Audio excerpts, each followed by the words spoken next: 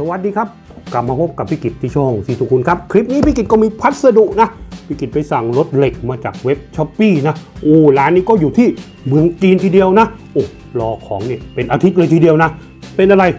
เดี๋ยวเรามาแกะดูนะครับ จะเจ๋งแค่ไหนนะโอ้นี่แหละครับ เดี๋ยวมาแกะดูกันเลยครับทุกคนแม่นะนี่นะเออเวลาพี่กิจหารถเหล็กบางทีก็ไปซื้อเซเว่นไปซื้อห้างแล้วบางทีก็สั่งจากออนไลน์มั่งนะครับนะเอออันนี้ก็ มาจากเมืองจีนเลยทีเดียว โอ้ เป็นอะไรเดี๋ยวมาดูกันฟึบอ่ามีหนึ่งกองนะนี่ห่อบับเบิ้ลมานะครับทุกคนนะเป็นอะไรเป็นอะไร มาดูกันมาดูกันนะฟึบโอ้โหอย่างแจมดูดิครับทุกคน โอ้โห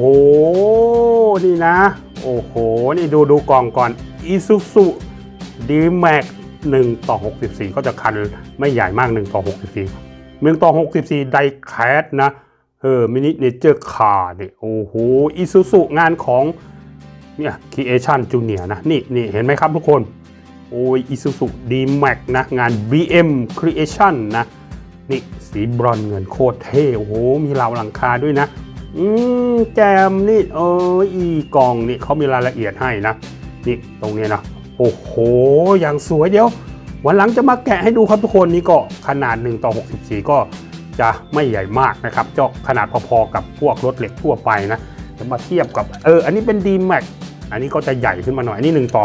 ประมาณ 1 ต่อ 32 นะนี่ก็อันนี้ก็จะ 1 ต่อ 64 ครับทุกคนโอ้โหแจมแจมนี่ครับอ่าเนี่ยไปลองสั่งได้นะ ตัวนี้กิจสั่งมาจากเมืองจีนก็ราคาก็ประมาณ 5-600 บาทประมาณนี้นะ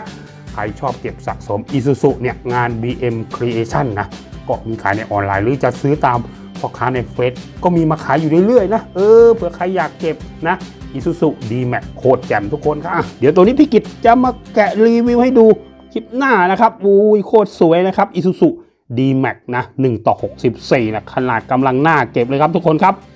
ฝากกดติดตามเป็นกำลังใจให้พี่กิจและช่องสีทุกคุณด้วยครับ คลิปนี้พี่กิจลาไปก่อนครับทุกคนครับ สวัสดีครับ ไม่โคตรแจ่มโคตรแจ่มอู้